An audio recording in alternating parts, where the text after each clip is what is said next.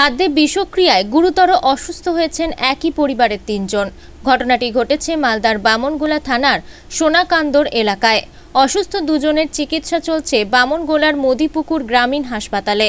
শনিবার একজনকে আশঙ্কাজনক অবস্থায় ভর্তি করা হয়েছে মালদা মেডিকেল কলেজ ও হাসপাতালে। অসুস্থরা হলেন বত্রিশ বছরের রামপ্রসাদ মণ্ডল, তার স্ত্রী আঠাশ বছরের পূজা মণ্ডল এবং এক ভাই সাতাশ বছরের সন্তোষ মণ্ডল।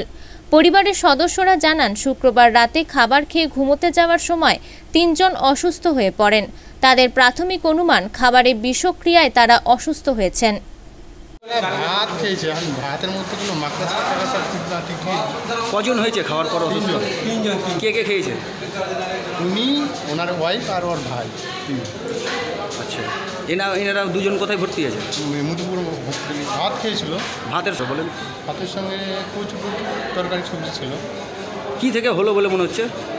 আমার মনটা বলছে খাওয়ার থেকে হয়তো টিকটিকির পায়খানা বা পড়েছিল হচ্ছে। টোটাল তিনজন অসুস্থ?